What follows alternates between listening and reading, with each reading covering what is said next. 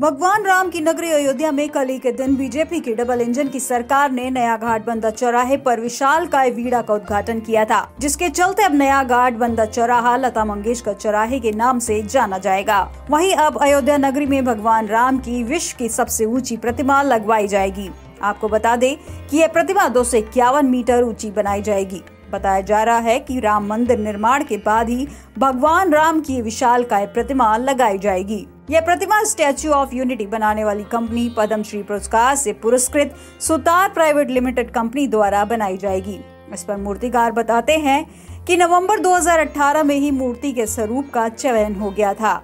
यह प्रतिमा कुल दो सौ इक्यावन मीटर की होगी, जिसमें इक्यावन मीटर का बिल्डिंग के रूप में बेस बनाया जाएगा।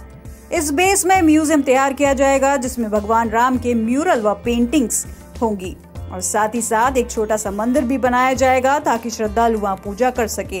2018 के अंदर नवंबर में अपने सीएम साहब ने, योगी जी ने एक कंपटीशन रखा था जिसमें कई कलाकारों ने अपनी मूर्तियाँ लाई थी मॉडल के स्वरूप में और पूरी स्कीम बना के लाए थे। उसमें पूरा सब देखने के बाद में सीएम साहब ने कहा था कि हमारी मूर्ति सबसे योग्य है और क्योंकि हमने स्टैचू ऑफ़ यूनिटी भी बनाया हुआ है तो हमारा जो योगदान रहा है, उसके अंदर जो हमारा एक्सपीरियंस रहा है और हमारी जो योग्यता है उस आधार पे प्रभु राम की मूर्ति हमें बनाने का, हमारा मॉडल सेलेक्ट किया गया था।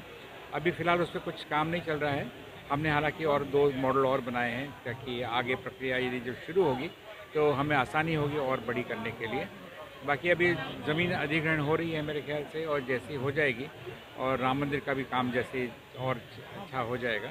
तो मेरे ख्याल से सीएम साहब जब भी बताएँगे, आदेश देंगे तब हम शुरू कर पाएँगे। भगवान राम की इस प्रतिमा के ऊपर विशाल छत्र लगाया जाएगा और उनके दाहिने हाथ में तीर तो बाएँ हाथ में विशाल धनुष होगा। ब्यूरो रिपोर्ट, आज की खबर।